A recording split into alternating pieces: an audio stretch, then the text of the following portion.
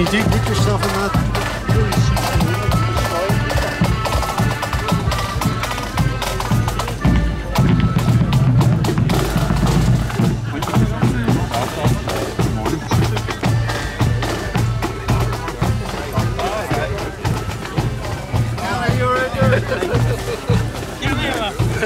All right.